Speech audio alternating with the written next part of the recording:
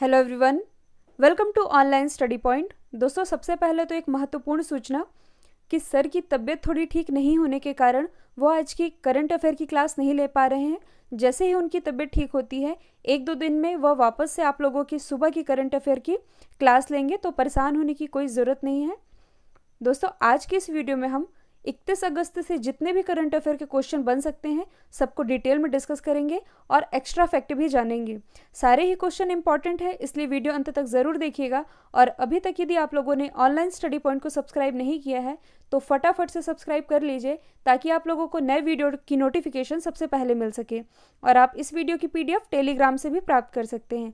तो चलिए स्टार्ट करते हैं हमारा पहला महत्वपूर्ण क्वेश्चन हाल ही में भारत की पहली बैटरी चालित सिटी बस सेवा का शुभारंभ कहाँ किया गया है? मैंने आपको कई बार बताया है, जहाँ कहीं भी पहला वर्ड जुड़ जाता है, वह क्वेश्चन अपने आप में ही इंपॉर्टेंट हो जाता है। तो यह पहली बैटरी चालित सिटी बस सेवा शुरू की गई है गुजरात के गांधीनगर से।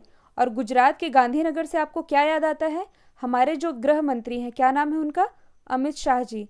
अमित शाह जी का निर्वाचन क्षेत्र है गुजरात का गांधीनगर और यहीं पर भारत की पहली बैटरी चालित सिटी बस सेवा शुरू कर दी गई है। मैं आपको गुजरात के बारे में कुछ एक्स्ट्रा फैक्ट बता देती हूँ। सबसे पहले तो गुजरात के मुख्यमंत्री कौन है? तो गुजरात के मुख्यमंत्री है विजय रूपाणी। यहाँ के गवर्नर इंपॉर्टेंट है, क्योंकि अभी हाल ही में नियुक्त हुए हैं। तो गुजरात के गवर्नर का नाम है आचार्य देवव्रत। ये आप याद रखिएगा। और गुजरात से रिलेटेड मैं कुछ करंट अफेयर के क्वेश्चन आपको बता दूँ। आप लोगों ने सुना ही होगा हाल ही में गुजरात में भारत के पहले डायनासोर पार्क का उद्घाटन किया गया है। यह भारत का पहला डायनासोर पार्क है, इसलिए इंपॉर्टेंट है और गुजरात के कुछ इंपॉर्टेंट नेशनल पार्क हैं जो अक्सर कॉम्पिटेटिव एग्ज़ाम में पूछे जाते हैं, जैसे कि Girvan national park marine national park black buck national park ये सारे नेशनल पार्क हैं गुजरात में। तो ये सब आप याद रखिएगा। और एक मैं आपको करंट अफेयर का क्वेश्चन बता दूँ। हाल ही में नीति आयोग द्वारा जारी समग्र जल प्रबंधन की एक रिपोर्ट जारी की गई है, जिसमें गुजरात शीर्ष पर रहा। नीति आयोग ने क्या जारी किया है? नीति आयोग ने समग्र जल प्रबंधन की एक रिपोर्ट जारी की है, जिसमें कि गुजरात पहले स्थान पर रहा है। बात यहाँ पर नीति आयोग की आई है तो नीति आयोग के अध्यक्ष कौन होते हैं? नीति आयोग के अध्यक्ष होते हैं भारत के प्रधानमंत्री, यानी कि नरेंद्र मोदी हैं नीति आयोग के अध्यक्ष। जो नीति आयोग है, इसकी फुल फॉर्म क्या होती है? नीति आयोग की फुल फॉर्म होती है National Institute of Transforming India और यह योजना आयोग के स्थान पर 2015 में लाया गया था। इसके जो उपाध्यक्ष हैं राजीव कुमार, इनका कार्यकाल बढ़ाया गया है। राजीव कुमार है उपाध्यक्ष और नीति आयोग के सीईओ कौन है? तो नीति आयोग के सीईओ हैं अमिताभ कांत और नीति आयोग ने ही समग्र जल प्रबंधन की एक रिपोर्ट जारी की है।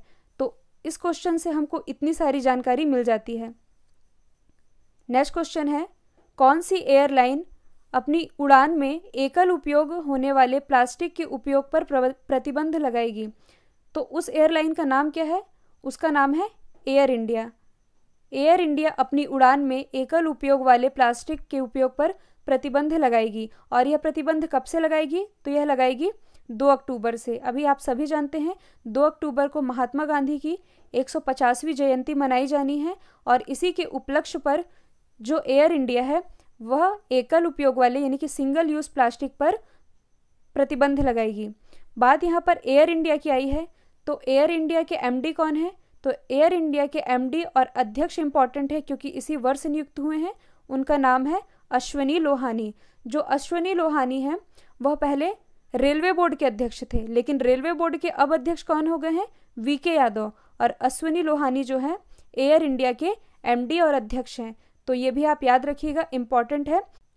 और एक चीज़, बात एयर इंडिया की आई है तो एयर इंडिया से रिलेटेड मैं आपको कुछ एक्स्ट्रा फैक्ट बता देती हूँ। जैसे कि एयर इंडिया की स्थापना कब हुई थी?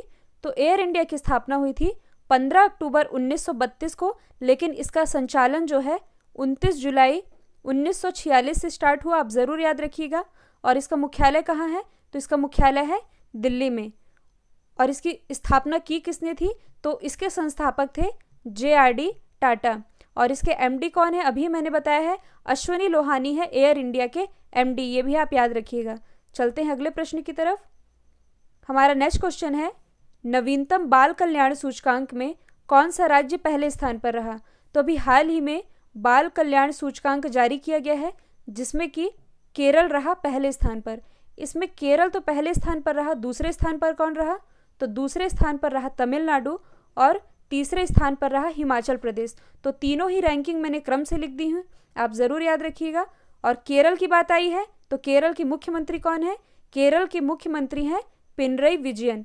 और यहाँ के राज्यपाल कौन है? केरल के राज्यपाल हैं पी सदाशिवम।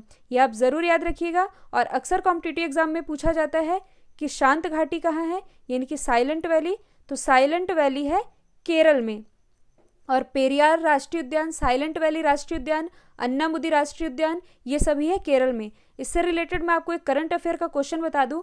हाल ही में भारत का पहला स्पेस टेक पार्क केरल में खोला गया है। मोस्ट इंपॉर्टेंट है, जुलाई की ही न्यूज़ थी है आपसे पूछा जाए यदि कि भारत का पहला स्पेस टेक पार्क कहाँ खोला गया है तो वह केरल के तिरुअनंतपुरम में ही खोला गया है। तो आप ज़रूर याद रखिएगा और आप लोगों ने सबरीमाला मंदिर का मुद्दा ज़रूर सुना होगा तो वह सबरीमाला मंदिर भी केरल में ही है। नेक्स्ट क्वेश्चन है हमारा हाल ही में किस राज्य के डिंडीगुल के ताले और कडांगी साड़ियों को जीआई टैग मिला है? तो यह मिला है तमिलनाडु के ये दोनों प्रोडक्ट्स हैं और इन्हें अभी हाल ही में जीआई टैग दिया गया है। और तमिलनाडु का एक प्रोडक्ट है इरोड़ हल्दी। और इरोड़ हल्दी को कुछ समय पहले ही जीआई टैग प्रदान किया गया था। इस वर्ष जितने भी प्रोडक्ट्स को जीआई टैग प्रदान किया गया है, मैं आपको क्रम से बता रही हूँ, आप चाहें तो नोट कर सकते हैं, जैसे कि कर्नाटक की कुर्ग अरेबिका कॉफ़ी और सिरसी सुपारी। इन दोनों को जीआई टैग दिया गया था। ओडिशा के कंधमाल हल्दी और रसगोला को जीआई टैग दिया गया था। ध्यान दीजिए, मैंने कहा रसगोला। एक होता है रसगुल्ला। जो रसगोला है, यह ओडिशा की एक मिठाई है, जबकि जो रसगुल्ला है, वह पश्चिम बंगाल का एक प्रोडक्ट है। यह आप याद रखिएगा, दोनों में कन्फ्यूज़न हो सकता है। और अभी हाल ही में कर्नाटक और महाराष्ट्र दोनों ने ही संयुक्त रूप से कोल्हापुरी चप्पल को जीआई टैग दिया है। ये भी आप याद रखिएगा करंट से ही रिलेटेड है और बिहार के भी चार प्रोडक्ट हैं, जिन्हें हाल ही में जीआई टैग दिया गया है। वह प्रोडक्ट कौन कौन से हैं? मगही पान, शाही लीची, भागलपुर जर्दालू और कटरानी राइस। तो इन चार प्रोडक्ट्स को जीआई टैग दिया गया है और यह बिहार से रिलेटेड है। यह आप याद रखिएगा। और सबसे पहले जीआई टैग किसे दिया गया था? तो 2004 में दार्जिलिंग की चाय को सबसे पहले जीआई टैग दिया गया था। और जीआई की फुल फॉर्म क्या होती है? जियोग्राफिकल इंडिकेशन टैग, ये भी आप याद रखिएगा। नेक्स्ट क्वेश्चन है, हाल ही में कौन यूईएफए के प्लेयर ऑफ़ द ईयर के पुरस्कार जीते हैं? मतलब कि इनमें से कौन है जिन्हें अवार्ड मिला है? तो यह है विरगिल वेन डिस्क। इन्होंने यह अवार्ड अपने नाम किया है। बात यहाँ पर यूईएफए की आई है तो इसका फुल फॉर्म क्या होता है? इसका फुल फॉर्म होता है Union of European Football Association. इसकी स्थापना कब हुई थी? तो इसकी स्थापना हुई थी 15 जून 1954 में। और इसका मुख्यालय कहाँ है? तो इसका मुख्यालय है न्यून स्विट्ज़रलैंड। तो ये भी आप याद रखिएगा।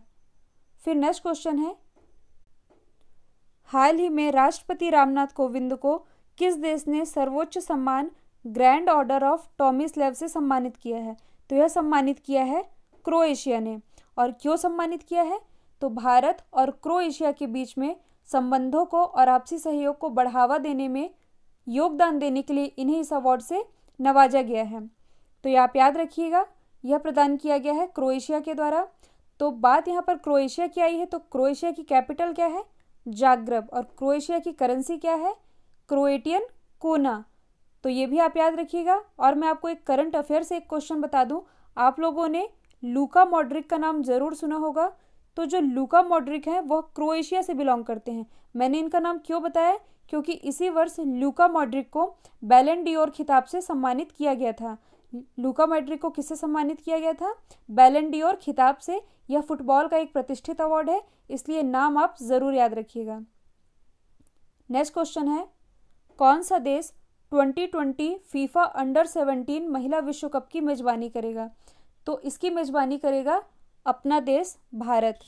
और बात यहाँ पर फीफा की आई है तो फीफा का फुल फॉर्म क्या होता है? फीफा का फुल फॉर्म होता है Federation International de Football Association. इसकी स्थापना कब हुई थी? तो इसकी स्थापना हुई थी 1904 में। और इसका मुख्यालय कहाँ है? तो इसका मुख्यालय है ज्यूरिक स्विट्ज़रलैंड में। और इसके हेड कौन है? तो इसके हेड इंपॉर्टेंट है, क्योंकि इनका कार्यकाल बढ़ाया गया है। इनके हेड हैं ज्ञानी इन्फेनिटो। ये नाम आप याद रखिएगा। और एक चीज़, अभी हाल ही में फीफा ने रैंकिंग जारी की थी और फीफा रैंकिंग में इंडिया का कौन सा स्थान है? तो इंडिया की रैंकिंग है 103 तो ये भी आप याद रखिएगा। नेक्स्ट क्वेश्चन है, हाल ही में नाउरू के नए राष्ट्रपति कौन बने हैं? तो यह क्वेश्चन इंपॉर्टेंट है, क्योंकि अभी हाल ही में बने हैं। इनका नाम है लियोनेल आइगिमिया। क्या नाम है? लियोनेल आइगिमिया। ये है अब नाउरू के नए राष्ट्रपति। और जेयर बोल्सनारो कौन है? तो जेयर बोल्सनारो ब्राज़ील के राष्ट्रपति हैं। यह इसी वर्ष बने हैं, इसलिए मैंने इनका नाम इंक्लूड किया है। और बेंजामिन नेतन्याहू कौन है? तो इसराइल के पांचवी बार प्रधानमंत्री बने हैं। क्या नाम है? Benjamin Netanyahu. और बोरिस जॉनसन तो अभी हाल ही में बने हैं, मोस्ट इंपॉर्टेंट है। तो यह ब्रिटेन के प्रधानमंत्री बने हैं। क्या नाम है?